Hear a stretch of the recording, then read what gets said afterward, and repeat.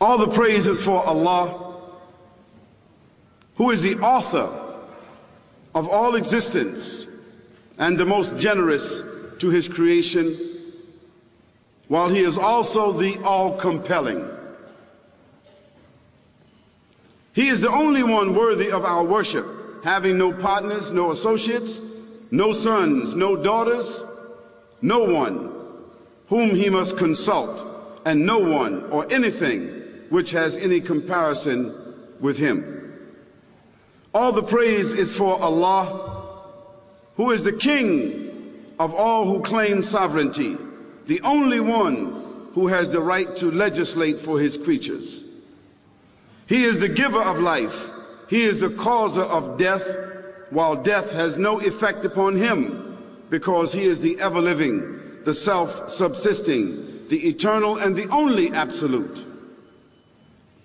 All the praise is for Allah, who has power over all things, and there is in reality no power and no strength, no influence to cause benefit or detriment except through him. It is he who created this complex world, the seen and the unseen, the evident and the speculative, the earth and all that is on it and everything that is in it. It is He, Allah subhanahu wa ta'ala, the glorious and the mighty, the powerful, who created the heavens that are near and far, the atmosphere and the hemisphere, the stratosphere, the outer space of stars, planets, and galaxies. It is He who created all of this in detail and diversity in a systematic way that scientific laws can be deduced from it, yet so expansive and so profound that science is unable to accurately measure or predict. It is He, Allah subhanahu wa ta'ala, the glorious and the mighty and the powerful, who created and determined all at once, with no pause between His word be and it is. The heavens, the earth, the angels, the jinn, the men, the beasts, the birds, the insects, the fish in the sea, of every species and kind, all created simply by his command. It is he, Allah subhanahu wa ta'ala, who created the life and mandated death in order to see which of his creatures among the human beings that he has given volition, that he has given a choice to, would be the best in their conduct and their worship. It is he, Allah, the glorious and the powerful, who sent into this world at different times and places messengers, peace and blessing be upon them all, who were gifted with divine scriptures the highest of morals by which to guide and educate the human beings to a life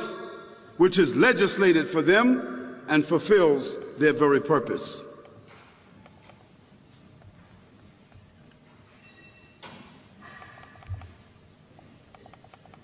It is he who sent his messengers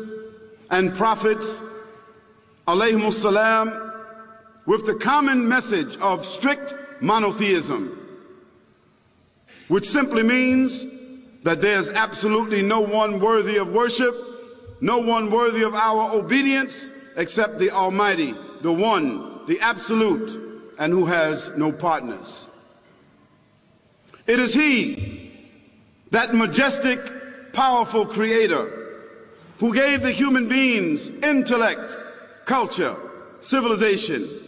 temporary power, passing pleasures and possessions. Yet he has subjected all who are on this playing field that we call life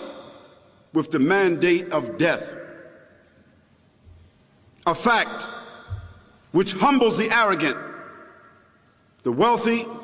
the rebellious, the disbeliever, the doubter, the ungrateful, the corrupt, the ignorant, the deviant, without exception.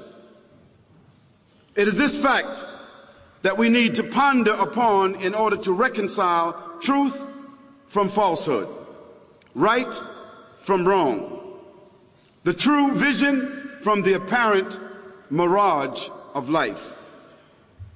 Fortunate are those who understand the fleeting value of this world, the trauma and the swiftness of death that comes without any announcement, the promise and the assurity of the grave and the resurrection, the sorting out